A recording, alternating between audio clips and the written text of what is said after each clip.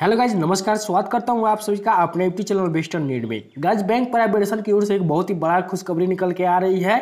भारत के finance minister Sitharaman Singh ji के under में जो हो रहे थे, बैंकों का प्राइवेटेशन अब उसके ऊपर जो है काफ़ी सारा बहस छिड़ गया है, जो कि सीतारमन सिंह जी अभी के पीरियड में काफ़ी नाराज़ हैं। क्योंकि तो पूरी कंप्लीट डिटेल्स हम आप सबको इस वीडियो में बताने वाले हैं तो बन रहे हमारे यूट्यूब चैनल पे। गाइज़ हम वीडियो को आगे बढ़ाने से पहले आप लोग से एक छोटी सी रिक्वेस्ट करना चाहते हैं कि अगर आप हमारे चैनल पे पहली बार आए हैं तो चैनल को सब्सक्राइब कर ले, क्योंकि गाइज़ यहाँ पे बैंकिंग और फाइनेंस रिलेटेड वीडियो आप सबको देखने को मिल जाता है। गाइज़ सबसे पहले हम आप सबको बता दें कि इंडियन बैंक की ओर से एक बहुत ही बड़ा नोटिफिकेशन आ रही है, जिसमें काफ़ी सारे बदलाव किए गए हैं। तो गाइज़ अगर आप इंडियन बैंक के खाता धारक है तो प्लीज़ इस नोटिफिकेशन पे ध्यान दें। गाइज़ यहाँ पे बताया जा रही है the appointment committee of combined A C C hatch appointment Shanti Lal Jain as the managing director M D and chief executive officer CE Indian bank for a period of three years guys यहाँ पे जो है Indian bank के जो CEO हैं, उनको जो है यहाँ पे बदल दिया गया है। यहाँ पे नए सीईओ आए हैं, जिनका नाम है शांति लाल जैन गाइज़ ये जो है थ्री इयर्स के लिए आए हैं इंडियन बैंक में थ्री इयर्स रहेंगे, उसके बाद इनका भी जो है तबादला हो जाएगी।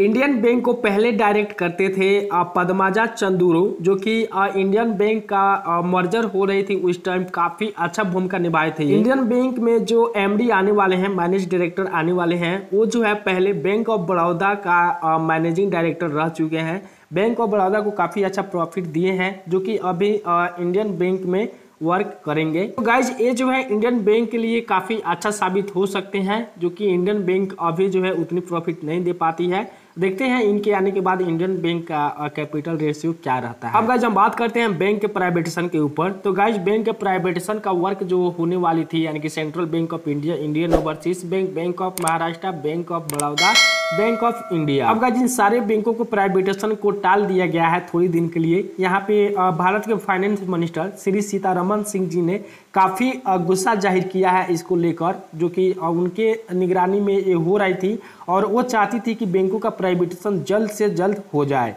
हालाँकि बैंकों को प्राइवेटेशन को यहाँ पे बैन नहीं किया गया है। यहाँ पे उनकी डेट को थोड़ी सी एक्सटेंड कर दिया गया है, बढ़ा दिया गया है।